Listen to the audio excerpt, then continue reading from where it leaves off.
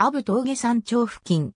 右にある看板には、かつてこの地に祀られていた、縁の行者の石像と、阿武峠名の由来が書かれている阿武トンネル、縁の行者の石像阿武峠は、奈良県吉野郡天川村にある峠。本来の峠名は、鈴掛峠だったが、峠付近は、アブが多かったのでアブ峠と呼ばれるようになった。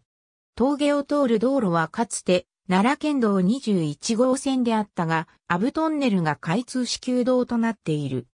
国道309号が通り天川村の村役場などがある村の中心部から、道川温泉や流泉寺などがあり大峰山への登山口でもある道川と結ぶ重要な峠道であった。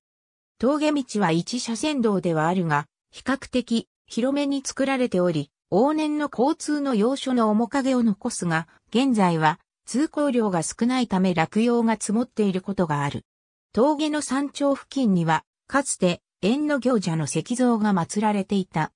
現在も峠に残る案内板によれば、安政3年5月に、紀州日高郡の日の出港が遠方から運び、五国北条とこの街道の道中安全を祈願して祭祀したもの、とのこと。